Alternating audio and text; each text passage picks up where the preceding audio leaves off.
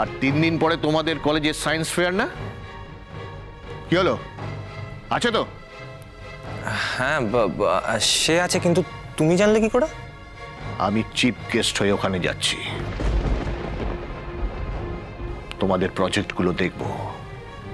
আর তখনই যেন আমি দেখতে পাই তুমি তোমার সাবজেক্টের ব্যাপারে সিরিয়াস ওকে দেখো। কি প্রজেক্ট করছ তুমি? প্রজেক্ট মানে বই আর কি কি মানে মানে করছ?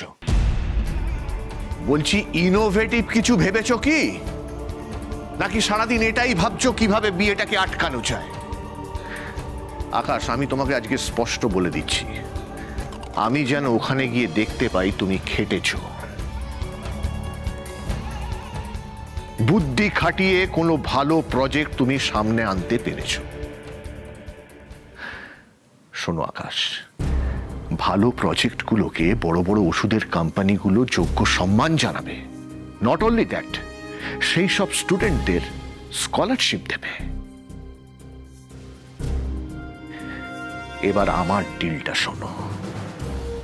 তুমি যদি ভালো কিছু প্রেজেন্ট করতে না পেরেছ স্কলারশিপ না পেয়েছ, তাহলে এই বাড়ির লোকজন আবার আমার সেই মূর্তিটা দেখবে।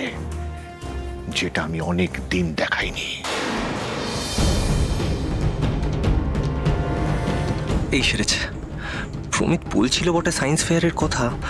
আমি তো বিশেষ গাই করিনি। এখন তিন দিনের মধ্যে কি প্রজেক্ট করব? কি হলো বলো? কি প্রজেক্ট করছ? প্রজেক্ট প্রজেক্ট একটা করেছি কিন্তু কিন্তু এক্ষুনি কেন বলব? এক্ষুনি বললে তো পুরো সাসপেন্সটাই নষ্ট হয়ে যাবে না? ওকে তাহলে আমি আসি।